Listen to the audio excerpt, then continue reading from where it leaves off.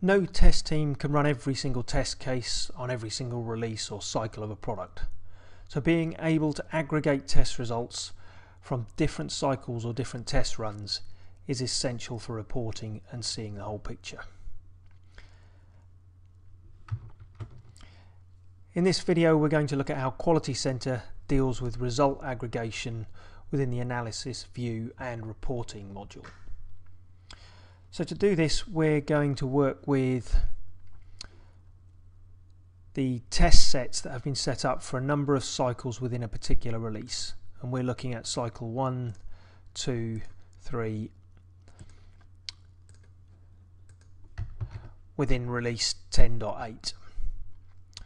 So to report across all of these cycles under the analysis view we can create a new graph using the graph wizard and we'll work with test instances, i.e. the test runs, and we'll create a summary graph.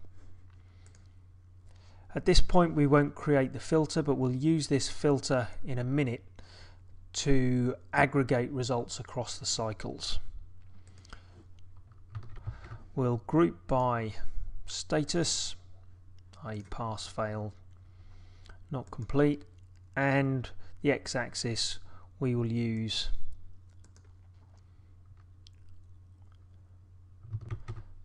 test set name. We'll add this report into our analysis view under our test execution reports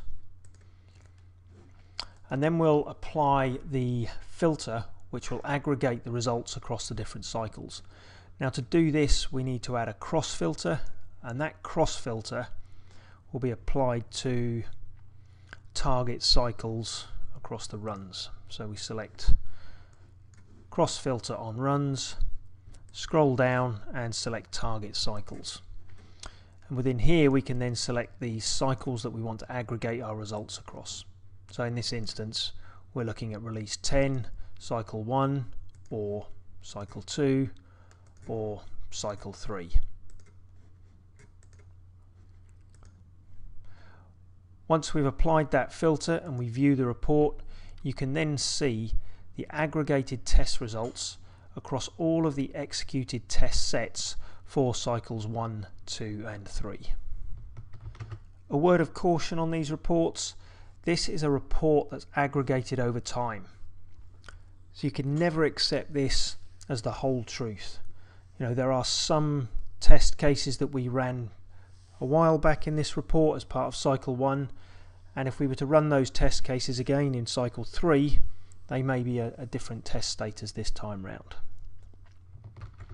However this type of report does give us the status of multiple test cases that have been run over many cycles or many builds of a product under test.